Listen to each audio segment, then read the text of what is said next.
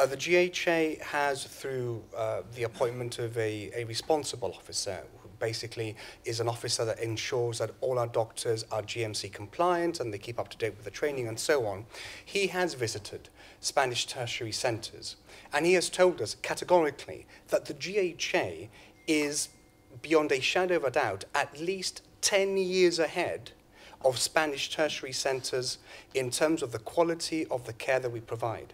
And the Honourable Gentleman knows that in the past two years, following on from the work of the Honourable Dr. John Cortes, we have quickened the pace of repatriating as many services as possible, not only because it makes sense for people not to have to travel when they are sick, uh, and all the stress that that, uh, that entails, but also because we want to make sure that we have as much capability within our homeland uh, as possible.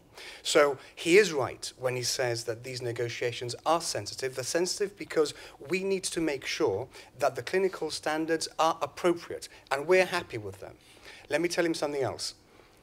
If I had to choose whether to go to the UK or to Spain, I would always choose to go to the UK for any complex treatment. There's no better place than an NHS University Hospital if you have something seriously wrong with you. However, of course, if there is an emergency and you really are sick and you can't fly, then we need to make sure that the care that we provide to our people is the best that we can. And we can only do that by making sure that the tertiary centres agree to those standards.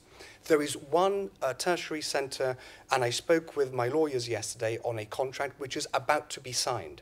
So I will be able to make a statement on that one before Xanit. But I can assure the Honourable Gentleman that if we're taking time, it's only because we need to get it right. Because we're not talking here about a typing pool or any other service. We're talking about the care of our, of our patients, of our community.